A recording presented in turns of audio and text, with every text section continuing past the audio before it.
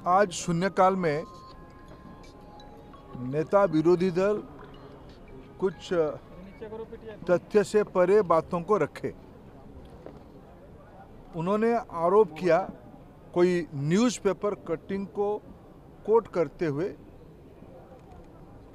कि छठवीं क्लास में, नया एनसीईआरटी की छठवीं क्लास की किताबों में प्रियम्बुल के बारे में जो पहले होती थी, उसको अभी छोड़ दिया गया है। मैंने हाउस की अध्यक्ष की अनुमति से विषय को स्पष्टता किया।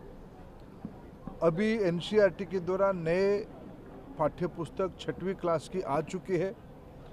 सारे किताबों में संविधान की preamble, fundamental duties, fundamental rights, national anthem, सारे विषयों को पिछले दिनों में जितने किताबों में रहते थे, उससे ज़्यादा किताबों में रखा गया है। कांग्रेस पार्टी अपने हताश के कारण, जिन्होंने संविधान को सबसे ज़्यादा तोड़ने का, मरोड़ने का, नीचा दिखाने का काम किया है, ये झूठ और भ्रांति फैलाने के काम पे लगे हैं। हम तो अपेक्षा करते हैं कि नेता प्रतिपक्ष जैसे जिम्मेवार स्थान में बैठे हुए व्यक्ति सदन को कम से कम तो गुमराह ना करे।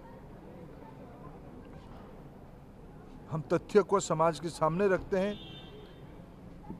मोदी जी की सरकार संविधान के प्रति प्रतिबद्ध है, संविधान के प्रति कमिटेड है। और हम शिक्षा व्यवस्था में भी संविधान की मूल तत्वों को, राष्ट्रीय शिक्षा नीति ने स्पष्ट कहा है, संविधान की मूल तत्वों को तरह तरह की प्रकार से पाठ्य पुस्तकों में और पाठ्य पुस्तक के अंदर लाया जाएगा।